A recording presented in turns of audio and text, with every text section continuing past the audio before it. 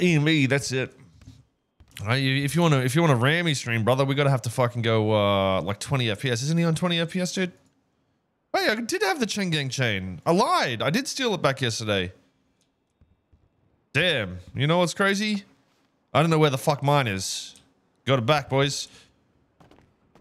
Actually, it might be in my apartment. I need to go check. I might uh might actually stash this on and lose it.